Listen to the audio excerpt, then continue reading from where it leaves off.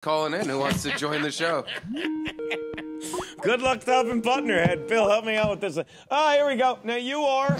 Hey, what's up? I'm Larry, the toll booth collector. He seems pretty happy. He likes what he does. You know what? Let's just do this for the regular. Let's do this for the regular show and make the regular show the bonus. No, what are you? What is your name again? Sorry, uh, Larry, the toll booth collector. Okay, now Larry. I, Your Christian name. yeah. By the way, those, Boy, that fir- guest you had on before me, Yeah. I can't top him. Thank you.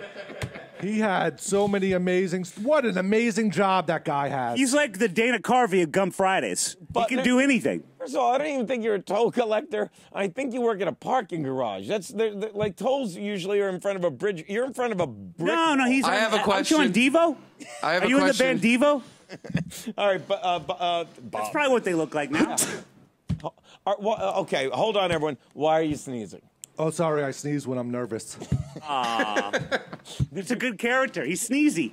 Th- th- these are terrible characters. Oh, that's a good one. Sneezy. I never- Oh man, that's a T-shirt. I never thought I'd That- say. you know, you're trying to build me up, but that last guy was so good. I, I- didn't think it was going to happen. I never thought I'd say this, but I miss Butnerhead. Now, did you have a question for him, Steve Areno? Uh, yes, I'd like to park my car, but I only have a hundred dollar bill.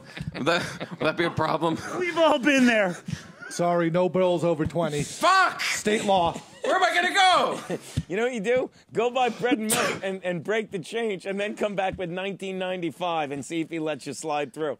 How much? By the way, if don't you have? If there's no bills over 20, like Bill's over twenty. yeah, I did one too. There's a bill over twenty in studio right now. Kick him out. well over 20.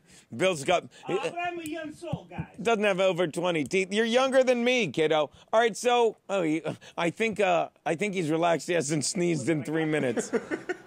I think he's calmed down. Look, I only sneeze when I'm nervous. look, we're running late, so you got to go right to your you got to go right to your fucking A list, your closing stuff, man. I have a bee as a pet. I bet he gets stunned. Ask him if he gets stunned. That's stinging. That, like, is it a bumblebee? It's He just really- a bee. I don't know. Is it just like a grave in school? He really does look nervous. Uh, did you want to? Did you want to ask him something, Steve? You okay, buddy? You look nervous. I'm a little nervous. Okay, so all right. Well, let, let's get to the closer. Tell me about your pet bee. Um, Well, you know, Is that the whole story? like flies around.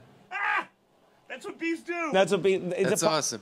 Well, Yeah. give him a chance, Gene. You know, Dave had a lot of funny anecdotes and work stories. Dave sucked. You want to uh, flesh out the bee character a little more there? I think we got something. Well, what's go. this guy's name? I, what was your name? Larry, the toll booth collector. Oh, that's right, Larry the Toll It Booth. was in Devo. Now watch. I'm sure you've seen. Watch this. I'll set you up. This is called panel in the biz. Now, now, Larry the Toll. I'm sure you've had some wacky toll booth stories. And that's about the size of it.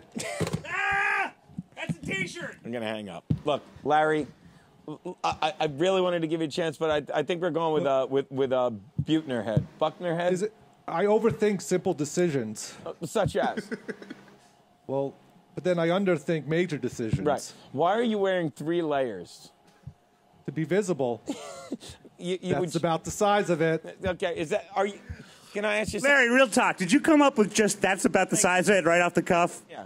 Well, I steal from the lost and found, Right. and I saw a wallet with that in it. Ah, That's about the. It seems to me this like This guy is gold. he's just trying to start his own catchphrase. I feel like. That's about the size There of you it. go. All right. Get her done. Well, That's about the size of Gum Friday bonus content. We got to go. Morning is next. I And, uh, hired a sitter to keep my houseplants company. No, you didn't. are you talking about You're a the? liar. Are you talking about the bee? Yeah, he gets lonely sometimes. Larry gets low. I feel like this guy's a treasure trove, and we have uh, we just tapped the surface. Yes, there's so much more. Maybe, maybe he'll call in. Maybe he called in earlier this week. Who fucking knows? But we got to let you go, Larry. It's time for told morning. I dress up to take out the trash. Bye, Larry. I wear the same accessories or items of clothing every day. what are you doing? I always have dirt under my fingernails. And I worked as a dog trainer, but I dream about being a horse trainer Larry. after I retired from the priesthood. Larry, here's what I want you, You to got two new regulars in one show. what you- Congrats, buddy. I want you to go I to the dream lo- of opening a cat cafe one day. What are you doing, Larry? I study ballet to become a better football player. I heard Larry's got a lot going on. That Dave guy was boring. No, no. see- Larry is so interesting. He's so intricate. He's got so many details to his life. I You're just not even asking him about I- any of these. I just got into competitive bird watching. Tell me about competitive bird watching. Well, we watch birds He's and like a renaissance man. compete. All right, well, it's we gotta go. It's noon. We gotta You don't want to know about the shoe store I run with my wife, but I worry about that ruining my marriage. You're married. Yeah.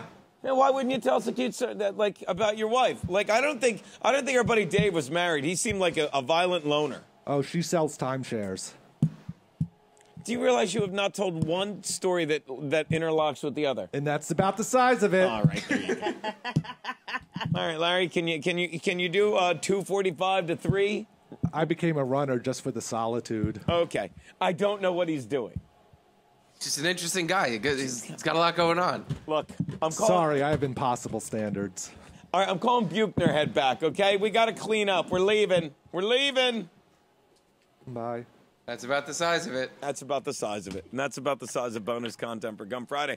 Ah, be sure to tune in next week and see what wacky adventures the bowling ball janitor and fucking the toll booth collector will get themselves into. Maybe he'll spill that paint. Maybe he'll break that 20. Wow. All right. Cut it out, can't you?